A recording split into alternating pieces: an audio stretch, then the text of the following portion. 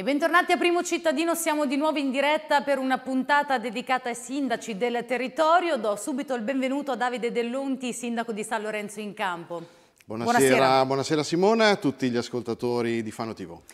Fra poco vedrete i numeri di telefono in sovrimpressione 0721 86 14 33 per parlare direttamente con il sindaco, però potete inviarci messaggi anche con Whatsapp al 338 4968 250. Sindaco, le Marche sono rimaste in zona gialla, almeno anche per questa settimana. Abbiamo visto che oggi il governatore Acquaroli non ha firmato nessuna ordinanza per queste micro eh, zone rosse, o meglio zone arancione rafforzato, però fino a domani vi ricordiamo che Monte Labate Valle Foglia e Cerretto Desi, quest'ultima nella provincia di Ancona, ci rimarranno. A San Lorenzo in Campo qual è la situazione? È sotto controllo? Attualmente a San Lorenzo in Campo la situazione è assolutamente sotto controllo.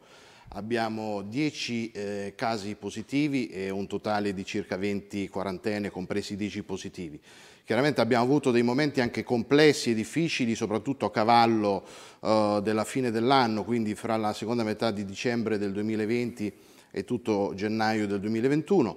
Eh, ha ricordato bene Simona il discorso dell'arancione rafforzato che la Regione Marche può, può disporre con una propria ordinanza perché è giusto che tutti sappiano che vanno fatti degli sforzi in tal senso perché poi la Regione potrebbe eh, dare delle microzone rosse, arancio rafforzato nel caso di un superamento del limite dei 250 casi su 100.000 abitanti, che eh, per comuni piccoli come anche il nostro è anche molto semplice. Questo recherebbe un danno enorme alle tante attività economiche che hanno ricominciato le proprie attività appunto da, da pochi giorni e quindi hanno necessità assoluta di poter proseguire a tenere aperto e quindi lavorare come è giusto che, come giusto che sia, come è, loro, è appunto il loro mestiere. In quest'ultimo fine settimana sono state elevate delle multe, ci sono stati gli assembramenti o i suoi concittadini sono stati bravi a rispettare le regole? No, i nostri concittadini sono piuttosto diligenti alle regole, non sono state elevate delle multe in questo fine settimana, eh, chiaramente l'attenzione è massima da parte di tutti e deve esserlo da parte veramente di tutti perché poi eh, ripeto, bastano pochi casi nei comuni come il nostro, che sono 3.300 abitanti, eventualmente per far scattare delle, delle restrizioni maggiori, questo sarebbe veramente un dramma. C'è stata un'emergenza nelle scorse settimane che riguardava i medici di famiglia, però è rientrata, quindi una buona notizia. Beh, rientrata è una parola grossa, nel senso per, che... Per il momento. Eh, diciamo che abbiamo una sostituzione eh, a lungo periodo per almeno sei mesi, ma rinnovabili, eh, di, un, di, un, medico che ha concluso la propria attività appunto, pochissimi giorni fa, il 30 di aprile, eh, la dottoressa della Santa Roberta, che quindi avrà sei mesi di sostituzione. Eh, ma eh, comunque siamo ancora carenti di un medico per tornare ai tre eh, che a San Lorenzo in campo ci sono sempre stati e oltretutto a ottobre anche eh, l'altro medico andrà in pensione, quindi la situazione è in perenne divenire e noi siamo assolutamente attenti a questo, abbiamo fatto degli incontri, degli appelli con la Regione Marche, con l'ASUR, proprio per mettere al centro dell'agenda della nostra azienda sanitaria regionale, della giunta regionale, questo problema che non riguarda ovviamente solo San Lorenzo in Campo, ma a San Lorenzo in Campo c'era una drammaticità in più perché eh, veramente si rischiava di arrivare a una mancanza, insufficienza grave di quella che è l'assistenza medica di base. Io mi sento anche in questa sede di ringraziare veramente i medici che eh, ci sono nel nostro comune per il lavoro che stanno facendo il, e si sono sobbarcati veramente degli impegni importanti su questo anche in fasi molto molto complesse. Quindi l'appello ovviamente è a che eh, le istituzioni aiutino i comuni come il nostro a trovare una soluzione definitiva e duratura perché l'assistenza medica di base in una situazione come quella che stiamo attraversando, una situazione pandemica dove c'è la vaccinazione eh, di soggetti che viene effettuata dai medici di base è fondamentale avere un punto di riferimento stabile, sappiamo benissimo che è importante.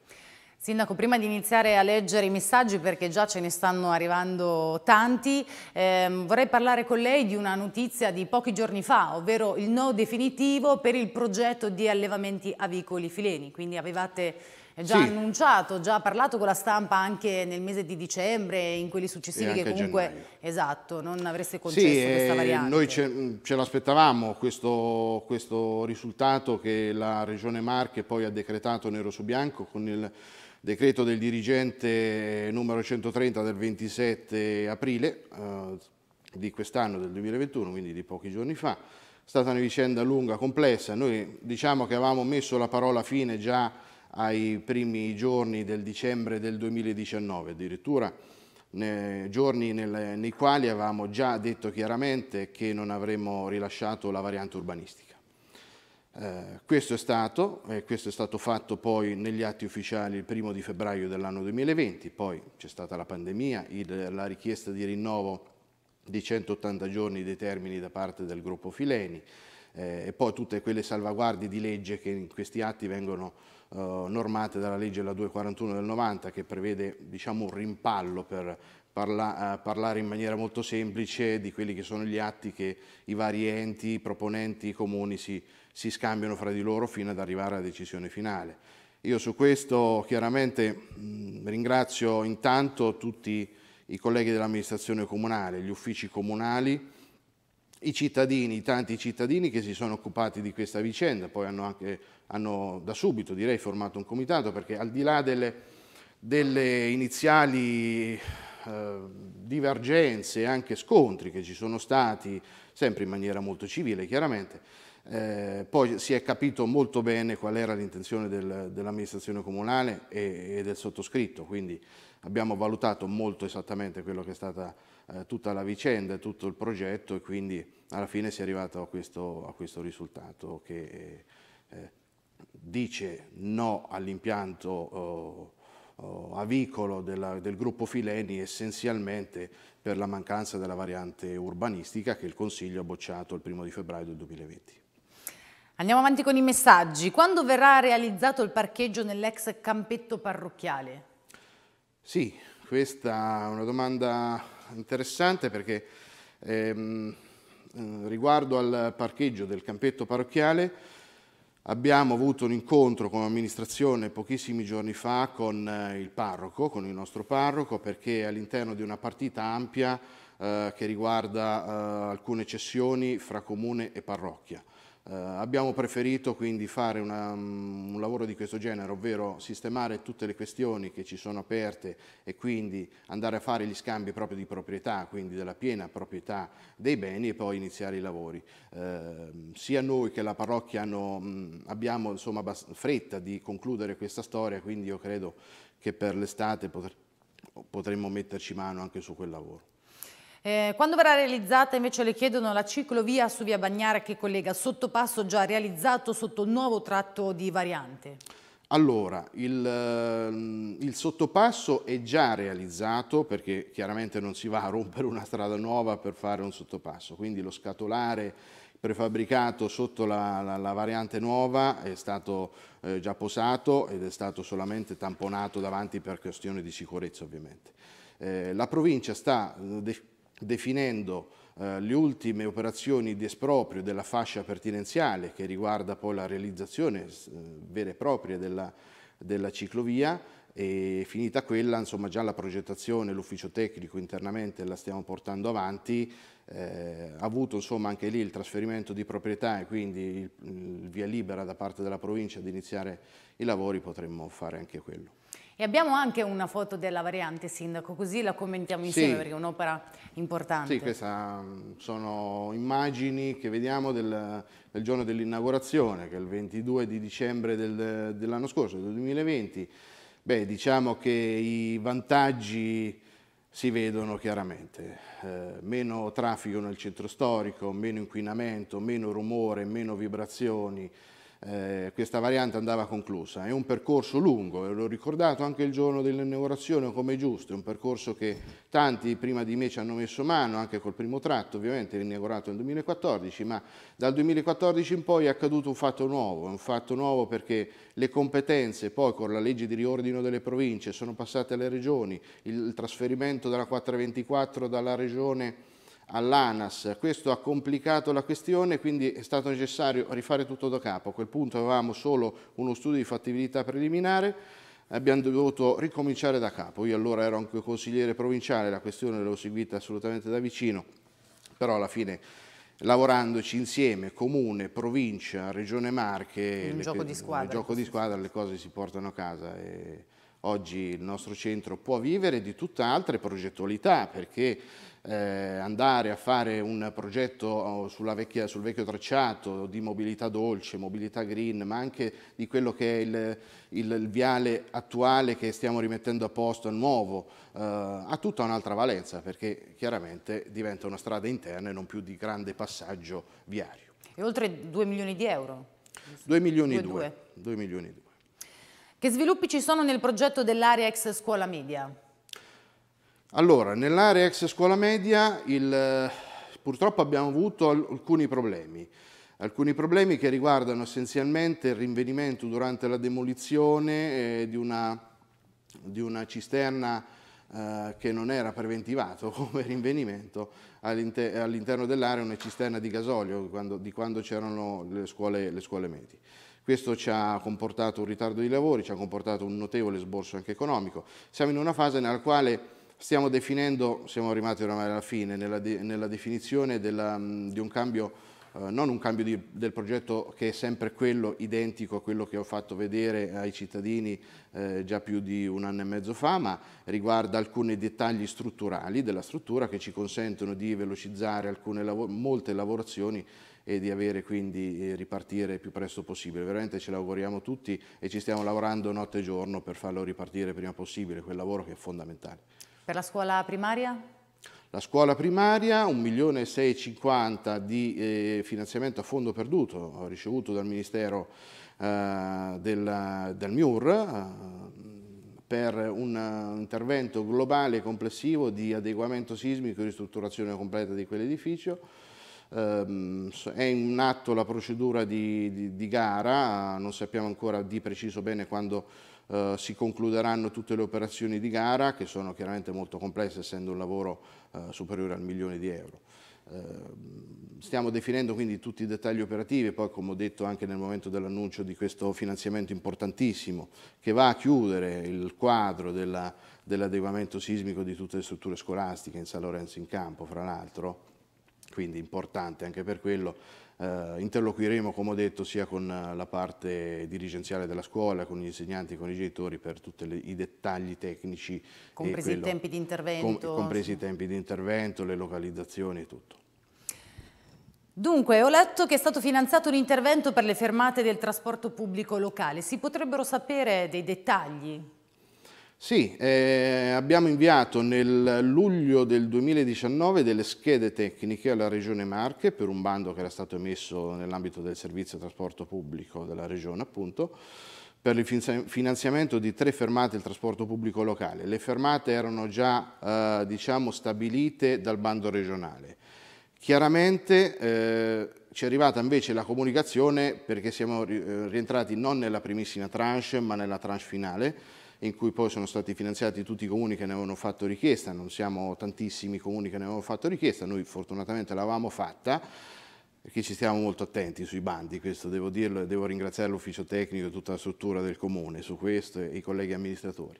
Ehm, nel momento in cui ci è arrivata la conferma di questi 35.500 euro da parte della Regione Marche abbiamo rivisto le fermate perché erano sia molto periferiche, non quelle che erano state eh, previste dalla Regione, parlo, molto periferiche, molto anche poco uh, fruite e oltretutto di difficile realizzazione per un discorso di espropri, per un discorso di uh, norme eh, tecniche dell'ANAS che imponeva. Quindi l'abbiamo uh, rivisitato in accordo con la Regione che ci ha già dato l'assenso la settimana scorsa per realizzare queste fermate sul tratto di 424 dal centro alla via Mattei, quindi l'Hotel Giardino. Quindi ne metteremo due uh, su via Mattei, quindi che, dove c'è l'Hotel Giardino, e, e una uh, nel tratto compreso fra uh, l'innesto della nuova rotatoria alla Topergola e il centro abitato. Le chiedono anche quando riparte il maxi cantiere adiacente al municipio perché è uno scempio, scrivono. È quello che ho detto prima. È quello delle ex scuole medie. Ah, è quello? Sì, sì, è quello, è quello. Eh, invece lavori per edificio che dovrebbe sostituire l'ex media, siamo sempre qui, stesso discorso, sì. si è pensato di poter includere nell'ambito della raccolta rifiuti anche l'appalto dello spazzamento stradale. Lo spazzamento stradale, allora noi andiamo a finire l'appalto con l'attuale gestore perché siamo fra i tre comuni che hanno eh, nella provincia di Pesorbino non sono né con Asset né con Marchi Multiservizi. Eh, siamo all'interno quindi di un appalto singolo come comune di San Lorenzo in Campo. Eh, lo finiamo a fine novembre di quest'anno, stiamo già lavorando al prossimo bando e infatti eh, ci si rende conto che è molto conveniente, senza neanche oltretutto aumentare il costo della Tari, andare a inserire lo spazzamento stradale all'interno di quel, o comunque gran parte dello spazzamento stradale all'interno di quell'appalto, perché comunque c'è un discorso di attrezzature, di personale che ci sgravia altri lavori per i nostri operai esterni. Aggiornamenti sulla fibra ottica? Fibra ottica è un altro tema molto interessante, perché? Perché anche qui siamo nella, uh, nel, nel, momento in cui stiamo facendo un sacco di interlocuzioni con la Regione, perché? Perché non capiamo quali siano i criteri di priorità che sono stati dati alla, ai vari comuni, nel senso che noi abbiamo fatto, fra virgolette, i compiti a casa già da diverso tempo, in quanto abbiamo inviato tutti i dati e quindi perché alcuni comuni partono ed altri no. Ecco, eh, siamo arrivati un po' al dunque, nel senso che eh, c'era un problema di eh, autorizzazioni che non dipendono dal comune perché la dorsale principale poi passa sulla sulla 424 che è proprietà ANAS. Eh, infatti tant'è che il problema non ce l'ha solo il nostro comune ma anche qualche altro comune vicino al nostro. Eh, fra l'altro pochi giorni fa, circa 10-15 giorni fa, ci sono arrivate comunicazioni da Infratel e Open Fiber, che è poi il soggetto attuatore di questo progetto, per partire anche a San Lorenzo in campo. Chiaramente eh, la Regione Marche su questo sta spingendo molto, eh, stanno cercando di recuperare un gap eh, di tempistiche che si erano perse nel, in precedenza. Chiaramente i comuni sono tanti eh, e quindi bisogna agire con fretta perché tutti i cittadini hanno necessità di questo servizio, ma soprattutto le imprese le imprese che hanno attività, chi fa del, dei telecontrolli, chi eh, ha delle quindi importanti anche realtà aziendali che abbiamo nel nostro comune che usano molto e hanno bisogno di una rete performante. Quindi su questo si sta lavorando mh, tutti i giorni per far sì che arrivi prima possibile anche a San Lorenzo in campo e, e mh, quindi credo a breve potremo partire anche da noi. Eh, direi, se lei è d'accordo, di parlare un attimo del verde pubblico, così che poi lasciamo spazio anche ai cittadini che eh, chiedono informazioni proprio sulla manutenzione. Abbiamo anche in questo caso una foto che, che ci avete fornito quindi continua anche questo piano. Sì, eh, questi sono i giardini pubblici del, su, viale, su, via Regina Margherita. Mm, abbiamo fatto anche quest'anno, poco tempo fa, un intervento non solo di potatura ma di prove tecniche su questi alberi. Sono alberi che hanno eh, molti, molti anni, chiaramente molti decenni, qualcuno anche secolare. Eh, hanno necessità di prove tecniche di un certo tipo, di trazioni, di tomografie che sarebbero si fanno quasi un attack a livello dell'attacco appunto della pianta verso terra. Eh, sono piante molto fragili, quindi hanno necessità di queste eh, analisi tecniche. Abbiamo fatto un intervento di potatura eh, scientificamente corretto, perché molto spesso si vedono delle capitozzature, le cosiddette capitozzature sul lungomare, ma anche in tanti comuni. È un metodo che chi lavora tutti i giorni su questo ambito ci hanno spiegato chiaramente che è un metodo sbagliato e la pianta nel lungo andare eh, soffre. Non solo nel, nei giardini pubblici, ma inizieremo anche su via Trieste, che è un'altra via proprio adiacente a quel punto eh, che vediamo qui nei giardini pubblici per avere eh, un'analisi un precisa di quelli che sono dei pini marittimi che mh, devono essere analizzati specificatamente per sia condizioni di sicurezza ma anche condizioni di, di decoro della, della, via. Quindi sia un approccio, mh, vogliamo avere un approccio scientifico su quello che è le potature degli alberi, soprattutto di quelle storiche, di quelle più importanti, perché eh, c'è la sicurezza di mezzo. E anche allora, se costano molti soldi fare certo. queste analisi, eh, vanno fatte. Eh, avete iniziato pochi anni fa, due anni fa, anche un progetto di riforestazione, no? Mano sì, abbiamo per... iniziato un progetto di riforestazione con alcune nuove essenze arboree sempre lì nel, nei giardini pubblici. eh, ne pianteremo quest'anno in, in autunno dell'altre e quindi andiamo avanti anche con questo progetto perché chiaramente se uno fa degli abbattimenti che le norme ti, ti impongono e gli studi tecnici ti impongono deve anche riforestare.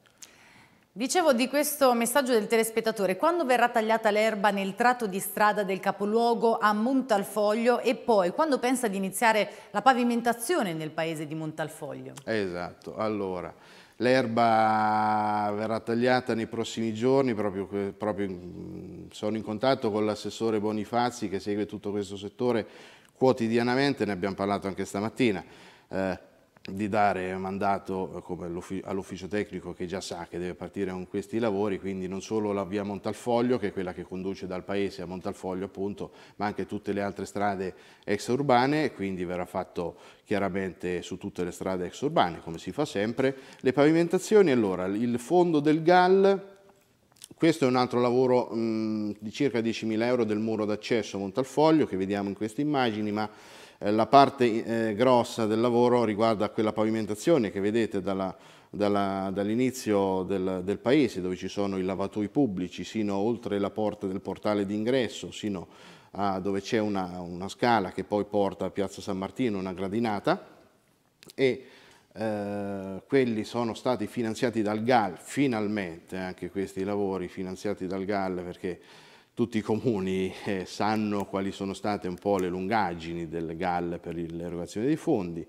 E questa mattina c'è stata invece finalmente data anche la buona notizia dal Ministero dei Beni Culturali per i 180.000 euro delle mura lato eh, proseguendo da quello che vedete lì su quel lato verso San Lorenzo diciamo eh, e la torretta medievale. Era un progetto che abbiamo portato avanti addirittura dal 2016 eh, a ogni cambio di governo veniva cambiata la, la commissione giudicatrice, comunque sia eh, in tutta Italia erano stati finanziati con un, eh, già un comunicato e un decreto adottato dal Ministero a fine del 2017 circa 250 interventi in tutta Italia. Ci sono stati poi da fare molti compiti e molte eh, questioni burocratiche successivamente a quel decreto ehm, nella prima tranche di 22 comuni su quei 250 risulta anche San Lorenzo, fra l'altro l'unico comune delle Marche che rientra in questa tranche. Ci è stato comunicato questa mattina, l'avevo saputo in anteprima qualche giorno fa di questo decreto, ma questa Aspettato mattina l'ufficialità. abbiamo, eh sì, su queste cose è fondamentale l'ufficialità anche per non illudere magari sì. persone e quindi cittadini che eh, in quella frazione abitano o, o la frequentano, quindi finalmente riusciremo a fare questi importanti lavori, 100 più 180, sono 280 mila. Quali sono gli step? Che cosa succederà? Allora, adesso i lavori del GAL possono già essere, mm, può essere già iniziata la procedura di appalto, per invece i lavori dei 180.000 dovremmo firmare una convenzione con il Ministero oh, che ci invierà tutti i dati secondo le loro tempistiche, che oramai veramente, dovrebbero essere veramente brevi, poi iniziare anche quelli. Chiaramente faremo un coordinamento anche per evitare di creare disagi, di creare problematiche alla frazione, soprattutto in vista di questa stagione estiva che eh, sta iniziando, eh, ci sono delle attività, c'è un'attività importante e quindi non possiamo neanche andare a eh, creare dei disagi particolari, quindi cercheremo di fare un accordo e un, fare una scelta oculata. Vorrei fare una domanda al sindaco, si era parlato di cambiare tutta l'illuminazione del paese con luci a LED, a che punto siamo? Quando partiranno i lavori? Allora, project financing che riguarda tutta la pubblica illuminazione, e non solo perché c'è anche l'efficientamento degli, degli, edifici comunali. Già diversi interventi Sì, già diversi interventi con dei fondi appositi abbiamo fatto in questi anni eh, con anche delle piccole estensioni di punti luce che chiaramente non sono mai sufficienti perché eh, ognuno giustamente aspirerebbe ad avere eh, qualsiasi via illuminata, ma questo ovviamente non è possibile. Però stiamo già facendo alcuni diversi lavori, e eh, questo progetto globale di circa 800 mila euro è arrivato oramai a conclusione perché ehm, nei prossimi dieci giorni, ho parlato anche stamattina con l'ufficio tecnico su questo e, e mi ha assicurato l'architetto Storoni che in dieci giorni è pronto ad inviare tutta la documentazione alla stazione unica appaltante che è la provincia di Pesaro Urbino per poi fare la gara. Qui invece vediamo un altro intervento, anche qui eh, che riguarda una parte di efficientamento energetico per il secondo tratto del Viale Regina Margherita, anche qui laddove andiamo a fare il rinnovo sia della, delle pavimentazioni che dei sottoservizi ehm, che dell'arredo urbano si va ovviamente a rinnovare anche tutta la pubblica illuminazione per renderla LED, e soprattutto nel centro storico stiamo anche attenti ad avere un LED che, sia, che abbia un valore cromatico Uh, non troppo bianco, certe volte nei centri storici si vede quel bianco sparato, uh, sintomo di un grado Kelvin uh, eccessivo. Mantenete e... la giusta atmosfera? Sì, beh, nei centri storici va sì. tenuta una certa coerenza. Certo. Dunque, le chiedono, ora che avete cacciato Fileni, chi smantellerà l'Eternit dell'ex Agroter? E un'altra che parla dell'allevamento, qual è l'idea che si è fatto in qualità di sindaco della questione Fileni in generale? Ah, ah. Perché è stata Beh, la prima, una, la prima, sentita. Assolutamente, la prima è semplicissima perché eh, L'Eternit eh, non è che lo smaltisce il comune, laddove il comune ce l'ha, eh, nei pro propri edifici lo smaltisce il comune, ma se, il, se dove c'è il privato lo deve smaltire il privato. Ma non è obbligato a smaltirlo, attenzione, perché poi quando è venuta fuori questa questione, parliamo del dicembre 2019, abbiamo chiamato, io ho fatto una comunicazione ad Asur, fatto una comunicazione all'ufficio tecnico in cui chiedevo un sopralluogo preciso e, puntu puntuale su quell'area per verificare lo stato di questo cementamiento. Uh, è stato fatto, abbiamo imposto alla proprietà di fare un piano di manutenzione e gestione del rischio amianto ed è quello che è stato fatto. Chiaramente è obbligo poi del proprietario seguirlo ed è obbligo nostro controllare che questo oh, venga fatto. Quindi, eh, questa è la situazione dell'amianto. Chiaramente in questo, in questo, senso uno non può neanche dire che eh, accetta qualsiasi tipo di intervento su quell'area perché devo eliminare eh, il problema amianto. Mm, l'amianto che c'è lì, eh, l'acqua è chiusa dai primi anni 2000, eh, il pro problema è venuto fuori adesso perché? Perché la ditta proprietaria e la proponente, quindi il gruppo Fileni, aveva messo fra i benefici dell'intervento anche il discorso dello smaltimento amianto ma eh, come si è detto a chiare lettere non è che uno deve mettere lì un impianto, un qualcosa che ha altre criticità e che l'analisi costi-benefici non depone, non ha deposto a suo favore per discorso dell'amianto. Il discorso dell'amianto ha le sue regole, ha le sue, le sue strade, quindi va avanti in quel senso lì. E sulla seconda domanda, una domanda che ci vorrebbe eh, un'ora intera, una trasmissione intera per rispondere. Intanto beh, è stata soddisfazione il fatto che alla fine si è arrivati a quello che era stata la decisione che il Consiglio Comunale in toto aveva preso, che è una decisione sentita dalla cittadinanza, perché chiaramente la cittadinanza si è espressa, credo, in maniera chiara su questo, e quindi eh, l'idea, l'idea è che comunque su questi temi mh, mm, non bisogna arrivare con i preconcetti nel senso che abbiamo avuto nella, nella, procedura chiaramente tanti enti coinvolti, anche altri due comuni che sono Mondavio e Castellonio di Suasa, non bisogna arrivare con i eh, preconcetti, con discorsi già di facciata o di altre, di altre ehm, di altre questioni perché comunque va affrontato il problema per quello che è, va visto quali sono i vantaggi, va visto quali sono gli svantaggi e si fa un bilancio finale.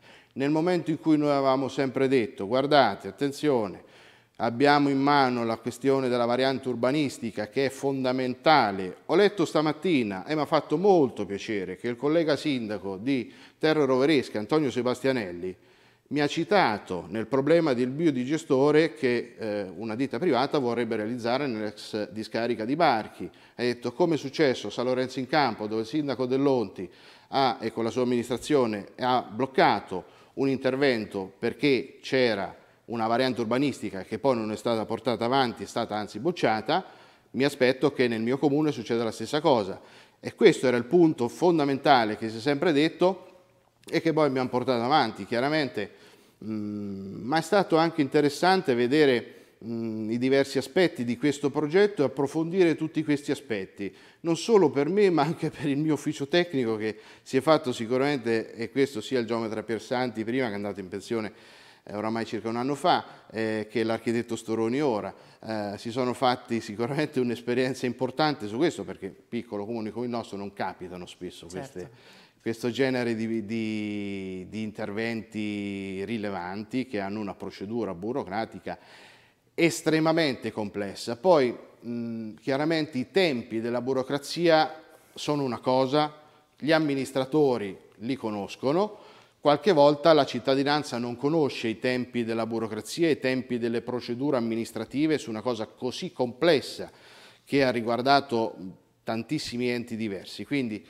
su, su quel distacco e scollamento qualche volta che c'è nell'aspettativa delle tempistiche soprattutto si può maturare qualche frizione e qualche, e qualche critica, qualche problematica, però alla fine e sono i conti, sono i risultati quelli che contano, eh, quindi eh, i risultati sono questi qui. E sinceramente eh, mi ha fatto anche piacere firmare certi documenti, ma non per, per, una, per chissà quale questione, perché ehm, quando sai che una certa responsabilità ricade su di te, ricade sul sindaco, ricade su colui che mette la firma e la firma l'ha messa al sottoscritto su dei documenti fondamentali su questo atto, è una soddisfazione perché sai che la tua firma, una volta tanto, perché si dice chissà quali sono i poteri del sindaco, in realtà non sono così infiniti e così enormi come uno possa pensare, però in certi atti sì, e, si, e si, poi si vede.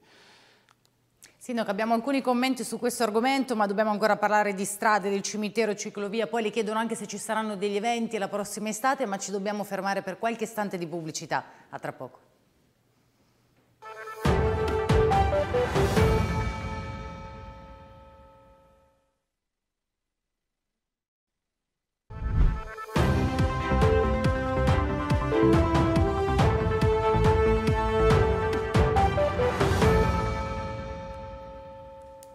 Bene, siamo tornati in diretta con il sindaco Dell'Onti. Cominciamo con la ciclovia del Cesano. Le chiedono a che punto siamo. Allora, ciclovia del Cesano uh, sono 800 mila euro che la Regione Marchi ha stanziato mh, mm, con un proprio finanziamento uh, su tutto l'asse quindi del Cesano da Marotta sino ad arrivare al Monte, al Monte Catria. Il comune capofila che ha in gestione questa somma è il comune di Mondolfo con il quale ci si relaziona molto spesso, e di questo ringrazio anche il sindaco Barbieri per l'attenzione che sta ponendo su questa tematica. Siamo nella fase di eh, aver ehm, quasi redatto tutto lo studio di fattibilità, anche perché poi abbiamo dei, ehm, dei tempi stringenti, eh, anche per eh, sia i tempi di rendicontazione del, del finanziamento complessivo, ma anche per quanto riguarda poi veramente i lavori che devono partire entro, entro breve, quindi tutta la parte di progettazione che non è sicuramente semplice. 800 mila euro è una prima cifra, una prima cifra sulla quale sono certo che la Regione Marche, l'assessore alle infrastrutture Baldelli eh, è molto sensibile a questo tema, sicuramente ci metterà delle altre risorse per arrivare eh, alla conclusione di questa ciclovia, perché chiaramente con 800 mila euro non si riesce a farla, a farla ovviamente tutta, eh, però il progetto sta venendo avanti e anzi dovremmo aver rendicontato gran parte delle spese alla fine di quest'anno. La vedo dura, la vedo complicata perché poi è un progetto che riguarda molti comuni a partire da Mondolfo sino ad arrivare a Serra, a Sant'Abbondio, Frontone. Quindi non è semplice però stiamo lavorando tutti quanti in grande sinergia su questo.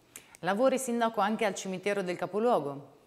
Sì, eh, sono 250.000 euro di intervento oh, sulla quale siamo in definizione del progetto esecutivo uh, per um, fare un altro blocco di, di, di loculi nel, nel, centro, oh, nel, capo, nel cimitero del capoluogo fra l'altro oh, stiamo anche facendo un progetto generale, questo è importante, di tutta la parte nuova del cimitero, quindi rivedere quello che è il piano regolatore cimiteriale generale di quella porzione, eh, per ottimizzare degli spazi, per creare anche degli spazi per le sepolture private che erano mancanti e su cui c'è richiesta ma non c'era fino a poco tempo fa anche una una disponibilità.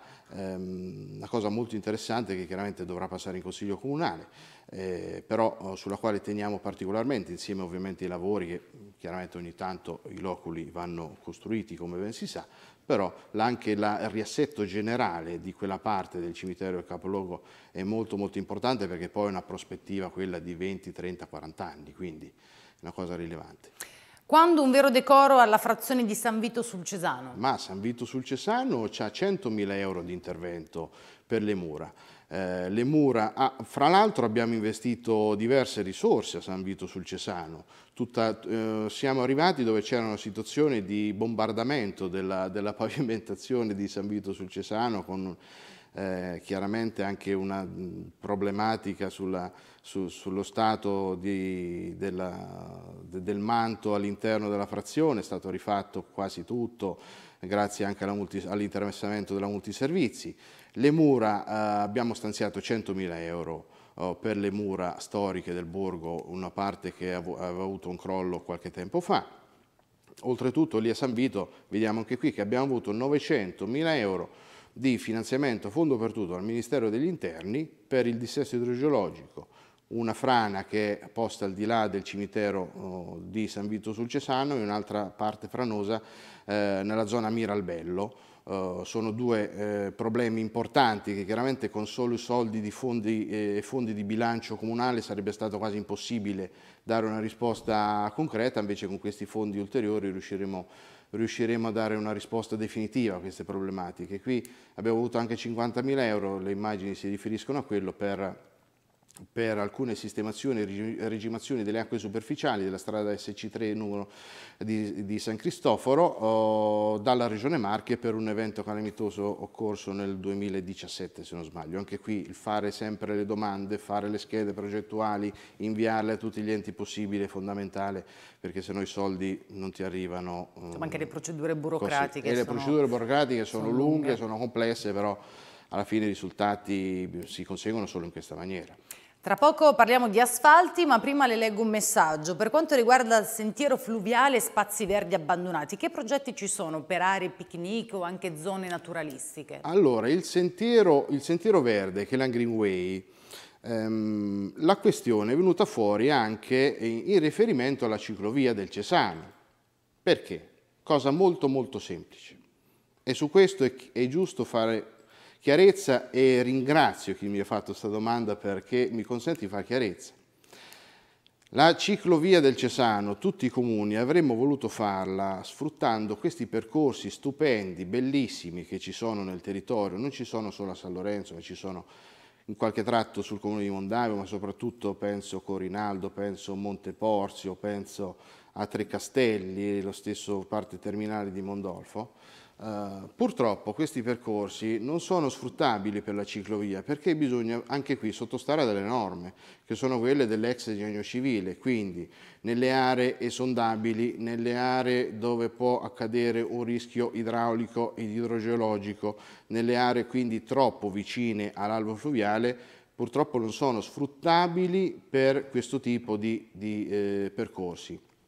Chiaramente eh, si fa eh, della manutenzione, che è quella eh, ordinaria in alcuni tratti, eh, dove, laddove è possibile, laddove le risorse lo consentono, laddove le tempistiche lo consentono, ma chiaramente il, invece il progetto della ciclovia è lì che abbiamo degli spazi in sicurezza, degli spazi eh, anche per aree sosta, picnic che possono essere realizzate e le abbiamo inserite in questo progetto perché chiaramente deve sottostare, eh, come è giusto che sia, a una serie di norme, perché avevamo proposto all'inizio proprio il percorso della Greenway per la ciclovia del Cesano, perché ci appare sicuramente quello più bello, quello più suggestivo, però le norme non ci consentono di fare eh, il percorso, oltretutto non ne abbiamo la titolarità eh, giuridica di quel percorso, perché per investire un soldo pubblico bisogna avere o la piena proprietà o un diritto comunque di possesso e su quell'area che è demaniale o in parte addirittura privata questo purtroppo non c'è. Eh, oggi bisogna rincorrere magari quelle, che, quelle, cose che eh, non sono state diciamo, puntualmente sistemate quando era, quando era il tempo. Avete investito tanto anche sulla viabilità, sulla sicurezza stradale?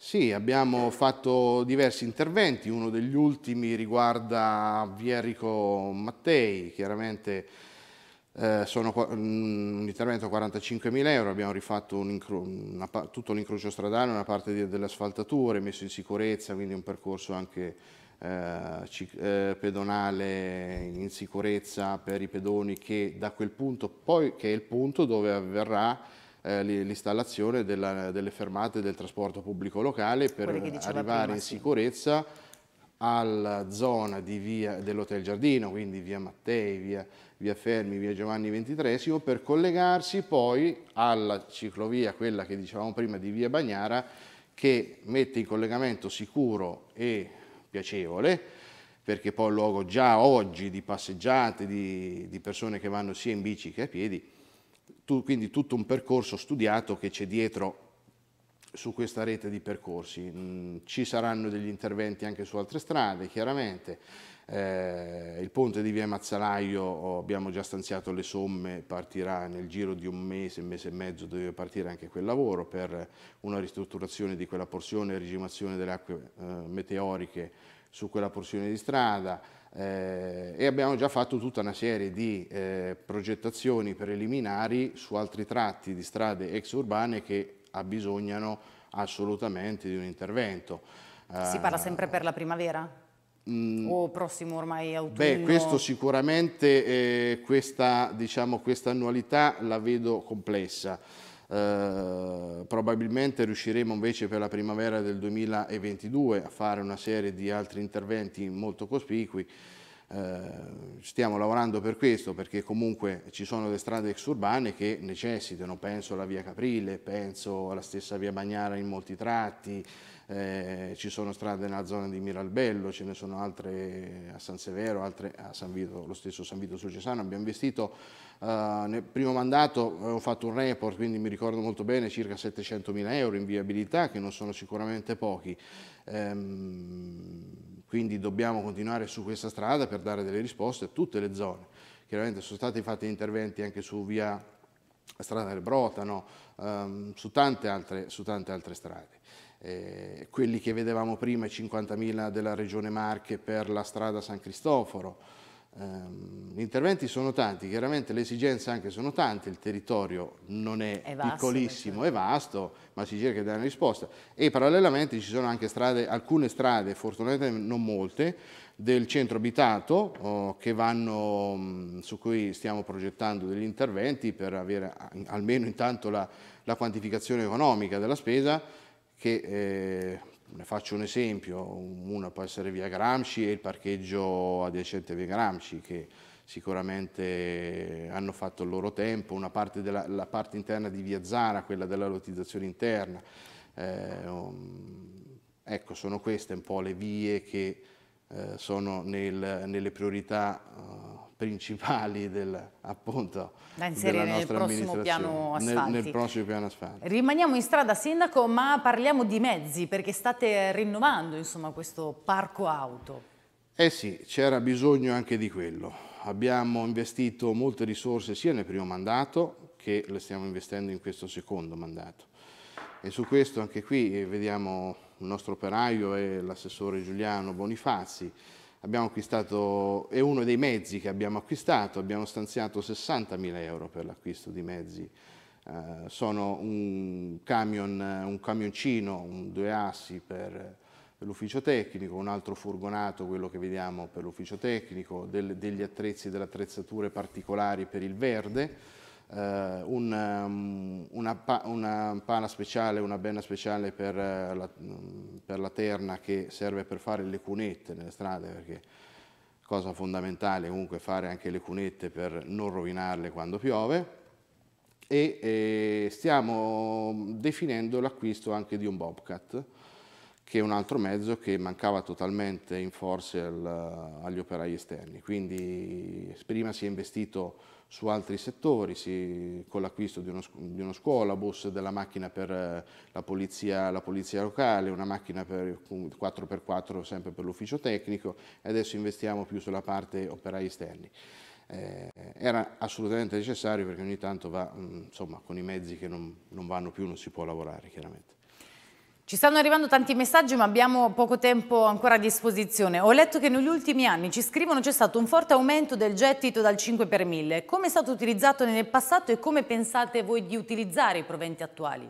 Allora, intanto, visto che siamo in ambito di 5 per 1000, quindi eh, ci avviciniamo al momento in cui i cittadini devono fare la propria dichiarazione di redditi, eh, io li ringrazio Ringrazio tutti i cittadini di San Lorenzo e ringrazio coloro che quindi hanno posto la loro firma mettendo che il 5 per 1000 debba essere destinato ai servizi eh, sociali del nostro comune. Il gettito è aumentato veramente tantissimo negli ultimi anni, parliamo chiaramente in termini relativi perché in termini assoluti eh, non parliamo di cifre enormi, però vedere il numero di cittadini e di contribuenti che hanno fatto questa scelta e vedere il gettito che è più che raddoppiato ci ha fatto grosso piacere e il numero di cittadini è molto più che raddoppiato, quasi triplicato. Adesso non ho sotto la statistica che eh, l'ufficio eh, ragioneria mi aveva fatto qualche tempo fa, ma mi ricordo di dati molto molto positivi. Eh, una parte l'abbiamo destinata, come dicevo prima, nel rinnovo parco mezzi, per, ehm, nel rinnovo dello scuolabus. Questa è già una parte, quindi è stata spesa, nel, se non sbaglio, era l'anno 2018, stiamo accantonando ulteriori risorse per eh, fare sempre degli acquisti che siano stabili e duraturi, nel senso che eh, già eh, investiamo molte risorse sul settore servizi sociali eh, e che anche qui ringrazio il lavoro degli uffici a partire dal, dal responsabile eh, fino all'assistente sociale che è la dottoressa Zanchetti Alessandra eh, per il lavoro che stanno svolgendo insieme all'ambito di Fano, l'ambito 6, eh, quindi saranno, sarà un acquisto di un qualcosa di stabile e duraturo che serve a tutta la comunità, quindi stiamo cercando di diciamo, accantonare delle somme anno per anno per fare questi acquisti. Passiamo alla palestra polifunzionale perché è una struttura attesa e richiesta da, da tanto tempo, anche qui per un investimento importante, 900 mila euro circa, no? L'investimento di 1 milione e 200, di più. 1 milione e 3. Ah, ecco un milione e tre, è un milione a fondo perduto, dal, sempre dal MIUR, perché l'abbiamo legata all'edilizia scolastica, eh, sta venendo avanti, sta procedendo, oh, un, era una cosa che ci si aspettava nel nostro comune da tempo, chiaramente ha le dimensioni, io dico giuste per la nostra comunità, perché non dimentichiamoci mai una cosa, che poi gli edifici, le strutture, le infrastrutture, le strade, in questo caso insomma una grossa struttura come questa, vanno poi gestiti e mantenuti. Quindi bisogna sempre trovare il giusto equilibrio fra uh, le esigenze e le dimensioni della struttura, quindi anche quello che, che è la struttura stessa. Eh, anche qui insomma, io credo che sia una bella soddisfazione per, per un comune e per un'amministrazione portare avanti un progetto del genere anche perché potrebbe fungere e servire per delle situazioni Ma di emergenza. Lo, vedi lo vediamo in questi momenti, lo vediamo in questi momenti, avere, oggi non abbiamo una struttura al coperto che tenga eh, più di 150 persone. Penso al Teatro Mario Tiberini, sono 150 posti. La palestra che abbiamo, su cui abbiamo investito 150 mila euro, anche lì con un bando regionale e Istituto Credito Sportivo, perché? Perché comunque aveva circa 50 anni e aveva necessità di un adeguamento sia tecnologico che sull'involucro esterno. Ma eh, non c'era uno spazio adeguato oh, per fare alcuni, alcuni tipi di attività e per avere un punto strategico anche di protezione civile nel caso, penso anche al discorso vaccinazioni, eh, lo vediamo, lo vediamo in questi momenti di maggiore difficoltà, cosa vuol dire eh, avere delle strutture di un certo tipo, grande. avere una struttura che con il certificato di prevenzione incendi potrà tenere a 300 persone. Le dicevo eh. prima 900.000 perché mi ricordavo di questo numero, ma in realtà sono i metri quadrati, giusto per far capire anche a casa, anche altre persone no, residenti di, eh, in, altri, in, altri, comuni, insomma una sì, struttura eh, veramente I numeri, i numeri diciamo, sono, sono, tanti, qualche volta si fa anche confusione, ma certo. sono un milione e tre su questa struttura. Abbiamo anche altre fotografie che riguardano il mega impianto fotovoltaico. Anche qui la provincia ha accolto le vostre istanze, insomma il Comune di San Lorenzo in campo. Sì, diciamo che non ci facciamo mancare nulla. No, direi no. nel senso che chiusa una questione, che è quella che dicevamo in apertura, eh, diciamo che ci avviamo alla conclusione con un'altra un un tematica, problematica ambientale direi. Eh, su un'area di 12 ettari un impianto da quasi 7 megawatt che sono circa 15, oltre 15.000 pannelli fotovoltaici. Mm, non si ha una preclusione sulle energie rinnovabili, anzi però chiaramente andare a uh, influire su un'area così estesa in un comune dove già nei primi anni 2010 nel boom del fotovoltaico volenti o non, non, non il discorso della centrale di trasformazione energetica di energia elettrica che abbiamo sul nostro territorio sicuramente influito ma tutta un'altra serie di fattori sicuramente è stata determinante Abbiamo già 31 ettari coperti da fotovoltaico, solo questo sono 12 ettari circa, dopo chiaramente tutta la particella, poi la parte coperta è leggermente inferiore. Eh, Comune di Pergola e di Arcevia sono entrati in questo screening di valutazione di impatto ambientale e hanno anche loro dato il loro apporto, perché chiaramente l'impatto che si ha dal punto di vista paesaggistico e quindi ambientale, e il paesaggio è uno degli elementi fondamentali, fondativi su cui i territori come i nostri hanno qualcosa su cui eh, poter mh, contare e qualcosa da spendere in termini di turismo e di valore della qualità della vita. Lo stesso problema che si aveva da altre parti si deve avere qui, perché se il problema era ambientale e paesaggistico da altre parti lo può essere sicuramente anche su questo tema. Io ringrazio i sindaci di Pergola e di Arceglia per aver sposato insieme a noi questa eh, battaglia che ora ha una prima fase, una prima vittoria delle pubbliche amministrazioni che il fatto che non vada in semplice autorizzazione unica dove entrano in gioco solo fattori urbanistico uh, edilizi e di pianificazione territoriale sulle quali chiaramente i comuni hanno poca voce in capitolo, ma uh, con la valutazione impatto ambientale riusciremo a far valere insomma, molte ragioni dei comuni su tutta un'altra, eh, no, un'altra serie di fattori e di considerazioni importanti che bisogna fare su impianti di questo genere. Um, chiaramente anche qui seguiamo da vicino quotidianamente le questioni perché sono questioni importanti e rilevanti. Sindaco, abbiamo purtroppo poco tempo, però vorrei farle altre due domande, quindi cerchiamo di dare, se possibile, delle brevi risposte. Le chiedono, per quanto riguarda il blocco della consegna delle case popolari, come pensa si possa sbloccare la situazione? Bella domanda. In due parole, eh, cercherò veramente di essere telegrafico. La questione è attualmente in mano ai massimi vertici regionali eh, abbiamo, e lo dico anche qui in diretta davanti a molte persone sicuramente che ci seguono, è una cosa vergognosa che ci siano nove appartamenti finiti in via Manzoni a San Lorenzo in Campo, costruiti da ERAP, sul, sul, sui quali manca un documento per rilasciare l'agibilità. Ci sono persone, famiglie, che attendono, insomma. ragazze madri, certo. persone sole, persone, famiglie numerose che attendono una casa e per la mancanza di un documento, l'ho già messo sulla stampa un nome, qui non lo faccio ma i miei cittadini lo sanno, una persona di ERAP che non si prende la responsabilità di passare sopra questioni privatistiche, di questioni fra ERAP e ditta che ha realizzato un intervento di cui non me ne frega assolutamente nulla,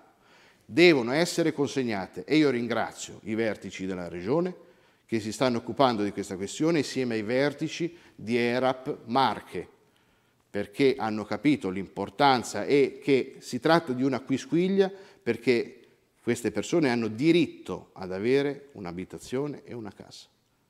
Quindi su questo uh, veramente... Mm,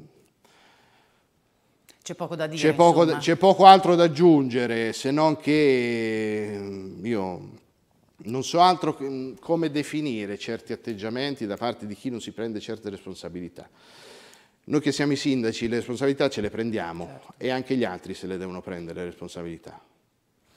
È stato chiarissimo. Chiudiamo con un argomento ben più leggero perché alcuni suoi concittadini vorrebbero sapere se per la prossima estate verranno organizzati degli eventi, delle manifestazioni, perché c'è anche la necessità di ritornare no, alla normalità, Sindaco.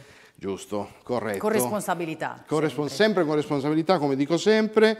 La cosa fondamentale che dico, intanto uh, un, primo, un, primissimo appuntamento lo abbiamo domenica, domenica di questa settimana, alle ore 16 al Teatro Rossini di Pesaro, però l'iniziativa è, è totalmente laurentina, è la ventinovesima edizione del Premio Lirico Internazionale Mario Tiberini, gestito, ideato e promosso dalla professoressa Giosetta Guerra.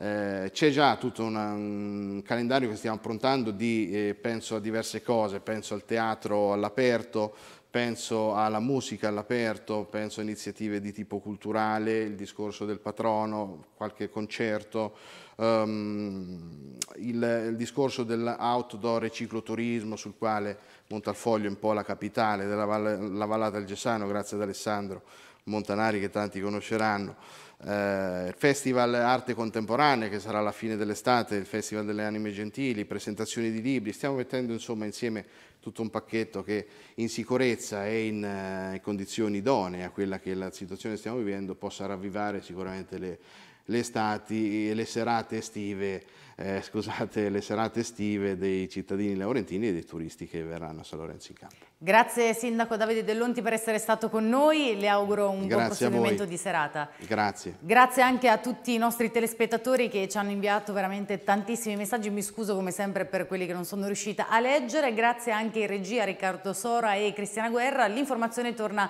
in diretta domani mattina alle 7 con il commento alla stampa del nostro direttore Marco Ferri. Grazie, buona serata a tutti. Buona serata.